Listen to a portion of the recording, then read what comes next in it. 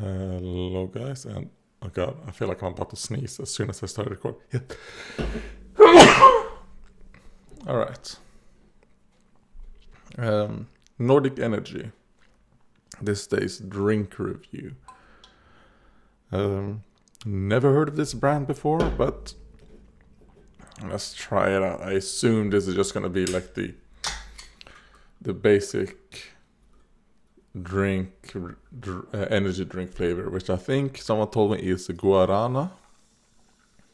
Like that is like like the basic bitch one, which I really like.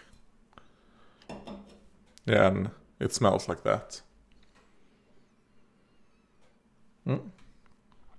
So let's see if it's any good.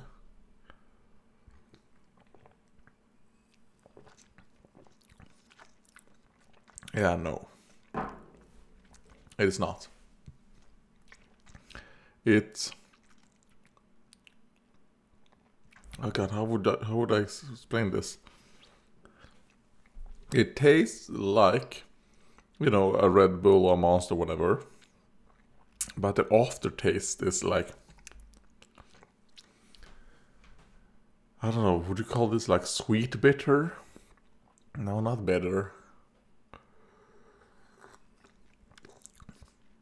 I think it's a bit too sour. Yeah, that's probably the case. It's too sour and too sweet. Uh, which, I mean, I feel like this would be good if I just added water to it to dilute it. I think if this, if you dilute this, it's probably gonna taste fine. So that's probably what I'm gonna do after I'm done with this um, drink review and comments and answers because that's what I plan on doing actually. Just read a bunch of comments because I think it's been a month since I've done done a video like this. Luckily, there has been that many comments um, that I haven't, you know, already answered in, you know, like by typing. Well, typing like that is incorrect. More like this, I guess, since I've been using my phone. Uh, but let's see.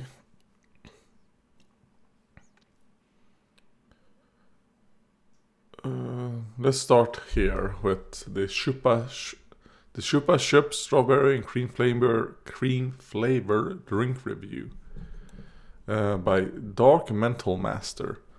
Used to have used to have lollipops of these when I was a kid.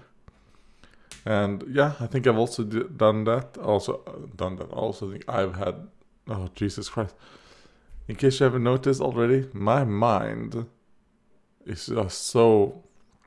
You can really tell in the Star Wars Jedi, the Last Fallen Order, whatever.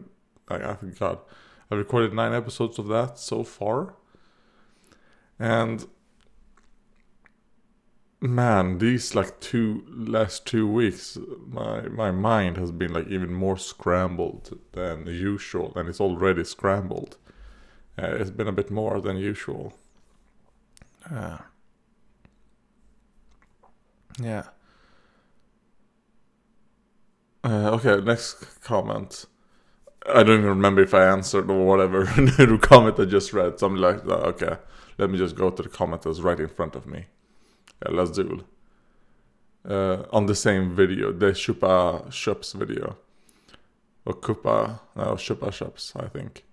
I didn't know the Mexican band Chupa Chups had a soda. I believe it's a Mexican company. They sell Chupa Chups candy in Mexico and some parts of Arizona.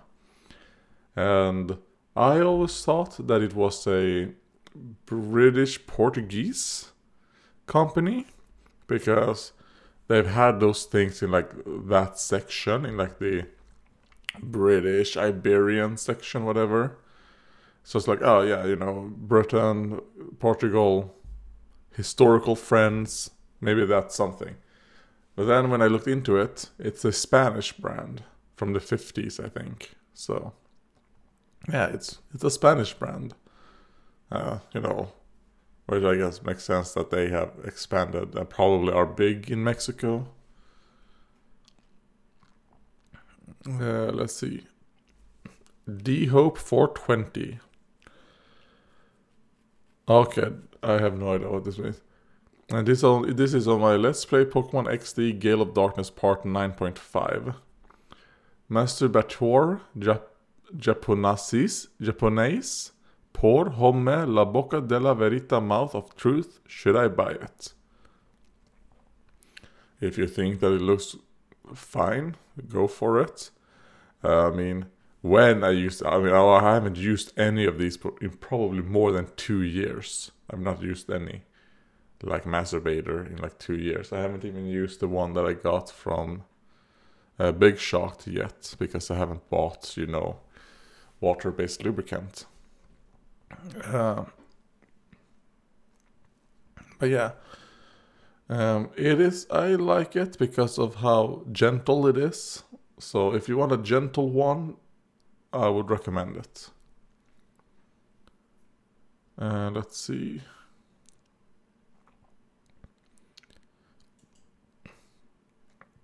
Okay, here's a comment on Let's Play Spec Ops The Line Part 1 by Lazul.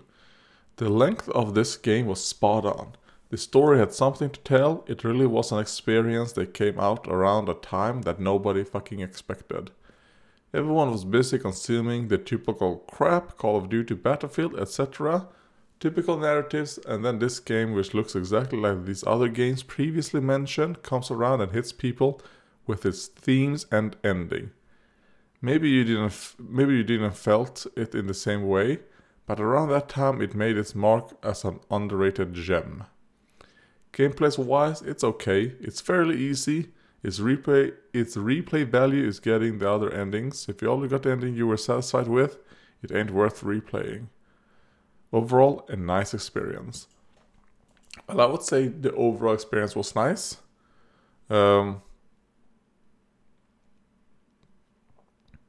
I mean, the overall like thoughts and all that of the story, like the story was okay. Like I liked that it ended up being that well, we were pretty much like the Americans were pretty much the bad guys in this, you know, and also you know the CIA doing all this shit, and us actually just playing into them, and uh, yeah, I fuck I don't remember who told me, but they, they said like, uh, there was something like ah, the game played with the fact that you as a player when you first arrive at the game, you get like they say like, oh, we're gonna, you know, like I don't know, like what you should do morally, I guess, or what the like is the fact that you just turn the game off as soon as you start it. You like you don't engage, uh, you know, to to move forward because you know the game is using the whole thing like uh like a brainless soldier that will just follow the arrow in front of them. The concept of that is okay, but this is a game that you pay money for. So that's the thing, like it's not like a real life scenario. This is like a video game. Uh, so even if they would have given me an option like, oh, go back home or continue on with the story, then when you go back home, like this is like in the first five minutes as your guys arrive to the scene and like, oh okay, uh, we've seen this. Let's head back and report. If they would have given me that option, I probably I still would have said, oh fuck that, we're moving on, like because in a video game sense, I'm like, I'm not spending like five minutes just watching a cutscene and then turning the game off. Uh, I want to play it. Uh, but if that was a thing that they did, that would have been interesting and a little bit like, oh, okay, that would have made, uh, I guess, the thing that they were trying to, you know, push in the fact that of just being like a soldier who's playing into this mentality of just following like the arrows and the objectives in front of you, not thinking about consequences. If they would have given you an option to just head back home immediately after you basically did what you were supposed to do, was just arrive there, look around and be like, oh, okay, this is how it is. Let's return back to base and go home. Uh, but they didn't give that option, so yeah. So I think that fails a little bit of what their point was. Fuck, I don't remember who told me that though. Alright, let's see. Lazul. On part 2 of Spec Ops. Lol, dying a lot, but it happens. This game is like Gears of War, where holding cover is really important. I've never played Gears of War. Nowadays, games have given up on most cover systems, which is kinda good because they're janky to implement. It's kinda annoying how you have to glue and unglue yourself from wall or barricade. Um, uh, you know what? I feel like I both like it and dislike it. Um, I think it really works in a game like this that is supposed to be a little bit more realistic. Uh, without being like completely realistic because I, don't know I wouldn't want to play like a super realistic where like ah you get shot once you're that's over you know like ah you're fucked um but I like that it, it is still like oh shit you need to take cover. And it's really good for immersion I think. Um, so I really think it really, really depends on uh, what they want to get off with the story, because I think the and also the the kind of atmosphere they want to put on the game. Yeah, because when you use like a cover-based system like that, it, is a lot. It makes it feel like way more intense versus you know non-cover based system games.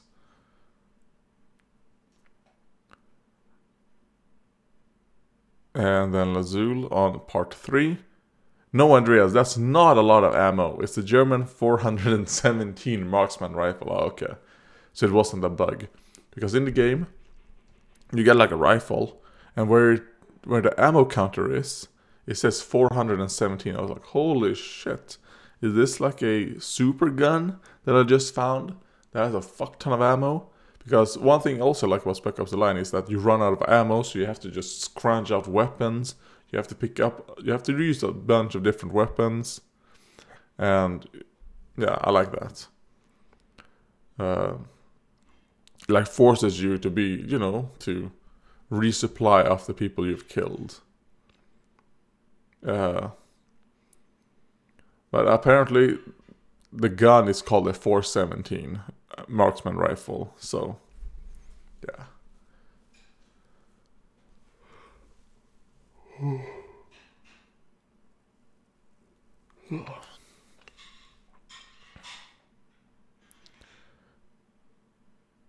Uh, let's see. Uh, Mr. Nobody on review of my big old horse pussy friendship is plastic two hole masturbator video. The comment is, you are cringe. Okay. Uh, let's see, Lazul. Nice. Well, what would you feel cringe of that? Isn't isn't cringe like secondhand? Well, I guess you could feel secondhand embarrassment if you think, you know, male like sexuality if you have like I don't know insecurities about your own male sexuality, I guess, or if you feel like insecure about male sexuality, I could understand feeling cringe about health products. So I completely understand, even though I I don't think I ever felt like true cringe from something. Uh, let's see. Nice Caesar haircut. Not Caesar haircut. Looking Roman. That was Lazul on my unboxing audacious sucking pro vibrator blowjob masturbator from Big Shocked. Um, yeah, I haven't actually done a haircut. This is still from when I uh, what with it when I had my mohawk. I cut, you know, hair and just had hair in the middle. I haven't cut or done anything since then. It's just this is how my hair grows. My hair grows fast. I have fast growing hair. And yeah, the only difference was that I didn't go to sleep as soon as I finished my shower. Uh, because that's what I normally do. After a shower, I just go to sleep, and then my hair becomes, you know, a bit more messy. And I also did comb it. So I combed it and I didn't go to sleep. Something I normally don't do after finishing a shower. Uh, but thank you. And uh, YouTube actually gave me three options, three pre-made answers. So let's say, hey, thanks. There we go. Uh, by Heku Maku. That looks like some ancient alien artifact on the same video. Uh, yeah, let's give that a thumb, a heart. And let's let's type. Let's hope it feels like one as well. I feel like if you were to have sex with a alien artifact, I wonder how that will feel. Hopefully good. Uh, let's see. Uh, yeah, Spheal is a nice catch. I don't know if I would want a Baltoy. I think overall my party for this game would look very similar to yours. And that was on Let's Play Pokemon XD Gale of Darkness Part 3, Sextuplet Beatdown. And yeah, I love Spheal. Spheal is such a cool Pokemon, way better than Seel, and I like Walrein way better than Dewgong. The problem was, especially in this game, is that fuck, I think my Pokemon uh, at the time that I ended the Let's Play, I think they were like level 60 or something. And Spheal and, you know, Walrein did not learn a better water type move than Water Gun. Water Gun was the best water type attack it learned in the entire game. And that was like, oh my god, I was so pissed because I mean the reason why I had wall Walrein is that oh, I wanted good ice types and water type. You know, it's a water ice type. But by the end, I'm like, fuck, I, I can't have any water attacks on you because I have to. I'll, I'm just gonna have like body slam, ice beam, icy wind, and I guess blizzard or whatever I had. Don't really remember the move sets I had, but yeah. And then I wondered, like, why is that the case? I'm like, oh yeah, because this is a Gen three game, and by that time they expected you, they expect you to have learned, or that you would have learned your Walrein Surf, you know, as an HM move. The thing, the problem was this game didn't have Surf as an HM or a TM or anything like that, so yeah, they, and they didn't give Walrein a water type attack that I would learn by level up, other than water gun. Then I think at level 80 something it would learn hydro pump, but yeah, you would fit you finish the game way before you're level 80, so yeah. Aggron is dope, you are right, Lazul on part 9 of XD Gale of Darkness, and yes, Aggron is amazing, also one of my favorite Pokemon. I mean, Gen 3 has a lot of my like absolute favorite Pokemons, like Spheal, Aron, and when I say those, I mean their like evolutionary line. Um, I really like Torchic. I kind of like all the starters. I I, th- I think that's the only game that I like all the starters. Like I would say, like I really like all the starters. And then there's a bunch of other Pokemon as well. But yeah. Gen 3 and Gen 1 are my favorites. Pokemon generations. Uh, when it comes to the Pokemon, I think if we're gonna be honest, when it comes to the games, I think Gen 3 and 4 and 5 are like the best. Uh, let's see. What a shitty game. Flash game tier even lower. I know of Flash games that have better gameplay than this. And that was on my first look, Chicken Assassin Reloaded, and I agree. Chicken Assassin Reloaded was a horrific game. So, so bad. I think it's like a clicker game or whatever you want to call it. But man, was it ter- terrible. Would not recommend. I wouldn't even recommend watching the video because the game is so bad. Uh, let's see. Man of Culture moment by Richard Farn. That comment, comment by Richard Farn, Man of Culture moment, and that was on my big old horse pussy friendship is plastic two whole man's masturbator or male masturbator video. My review of that. Thank you, Man of Culture. I've heard that a lot, but does that mean that they think like I'm I'm a culture like I'm a because what what does that mean when people say man of culture? Urban Dictionary. Man of culture is a weeb term that defines a person who enjoys things that are typically regarded with in weeb society high opinion. Okay. Okay. Thank you, I guess thinking I have a high opinions of on something, or that uh, my my opinion this is of something of a high opinion. Uh, let's just thank thanks.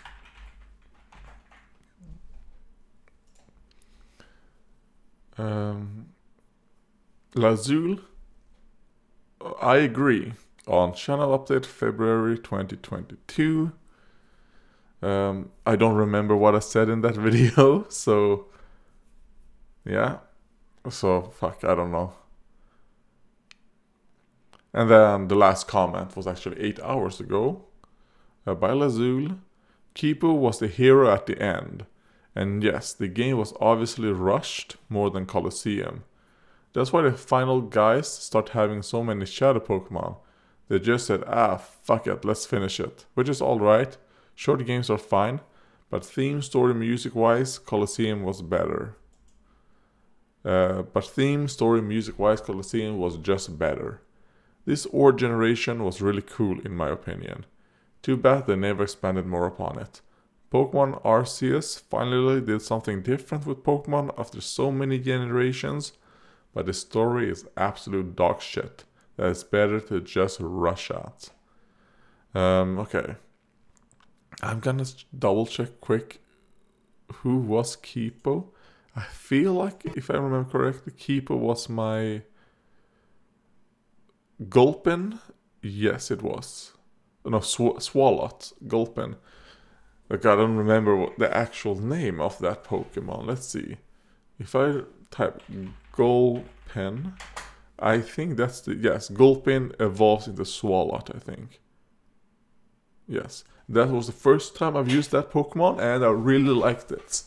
So yeah, I like using like new Pokemon every when I play these you know, replay games and all that.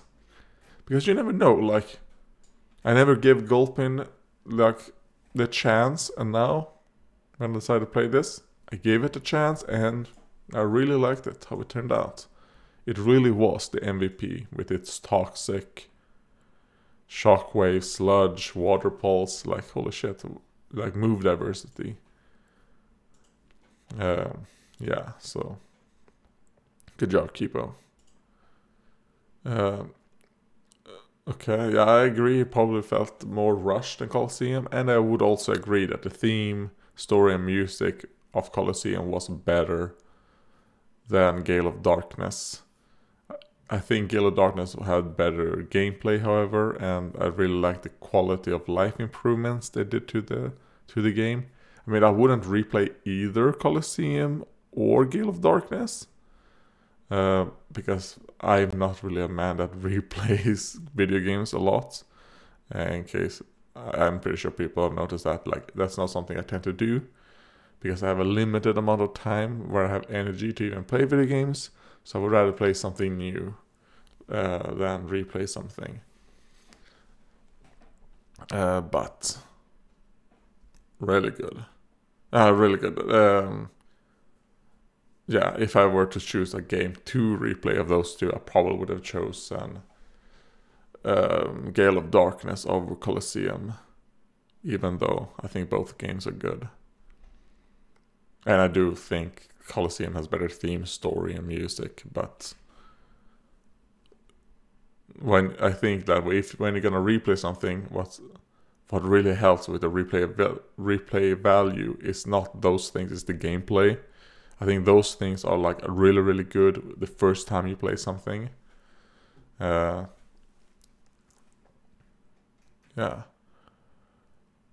Uh, but och yeah, Pokemon Arceus, there we go. Um. Uh, Pokemon Arceus. Uh, the only thing I know about that is that I, I did I saw Himemori Luna play it. I actually watched some of her stream of her playing it, and I will say the game looked very boring to me.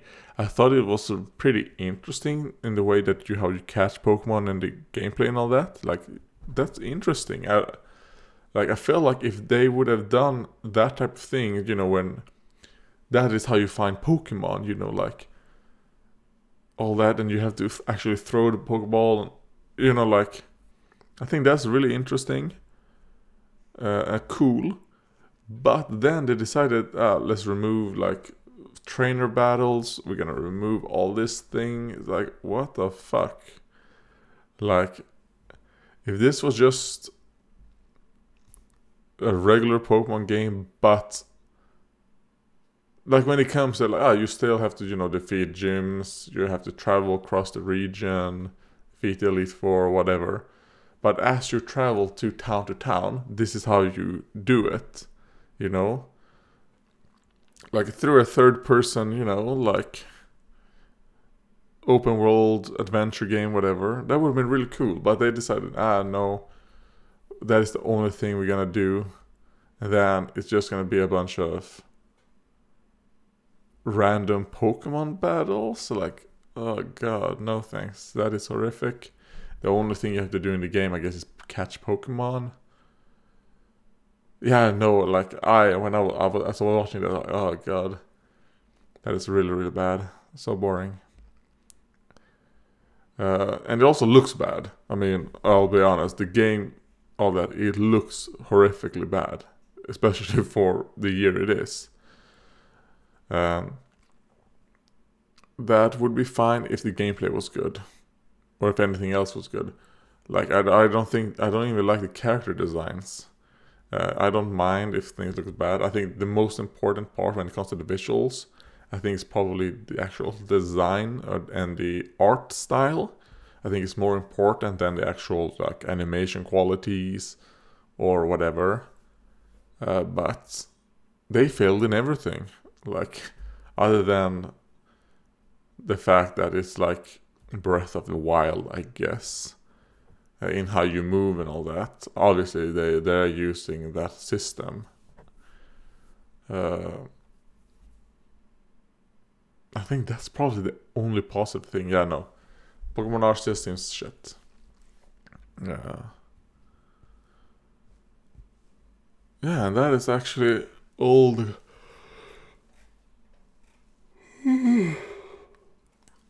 uh, that is all the comments. Let's see. I'm gonna go back even more.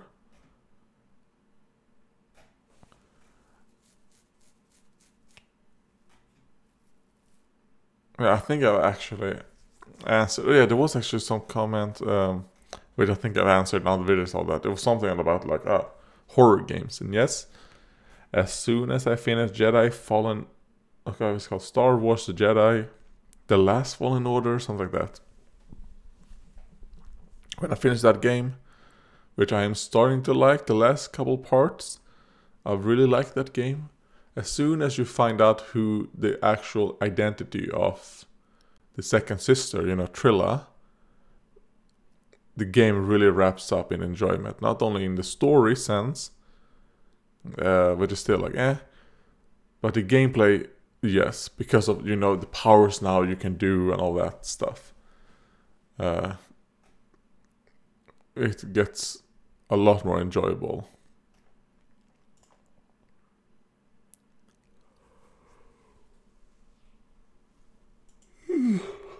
Yes, so when that is done, I'm gonna look through my games that I have and see okay, what horror games do I have? Because horror game genre isn't really something I have a lot of games in. It's not something I've ever felt, ah, you know what? I'm gonna look to get a horror game. I think most horror games that I have are from Prime Gaming, Amazon Prime. Um, because, like I said, I have no interest in buying any games. Um, yeah, if it's not like a humble bundle where, like, oh, you know what, that is really, really good. I'll I'll get the game. Uh, you know, in saying that, actually, let's look at Humble Bundle. Uh, let's see what they have at the moment. Bundles. Oh, let's see. Epic Game Store Celebration. The one game bundle. Nope. Three. Nope. And the seven. Okay, for 13.29 euros you could get Saints Row the Third Remastered. I liked Saints Row the Third uh, when I played it. Uh, I don't think I would ever want to replay it, so Kingdoms of Amalur Re-Reckoning, another game that I kind of enjoyed when I played it. Would not want to replay it, however. And then Mortal Shell is like a Dark Souls. What is that genre called? A dodge fighter? What is the genre of Dark Souls?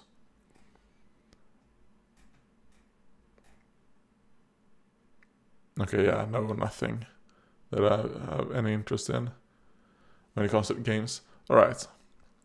Um, but then talking about Amazon, yeah. So I'll probably just look at all the games I have, not only Amazon but on Steam and all that, and just see, okay,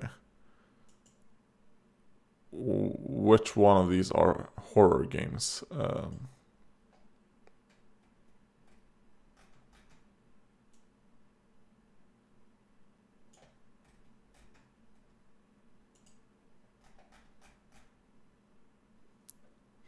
oh, that's because it's going from the newest. I was like, wait a minute.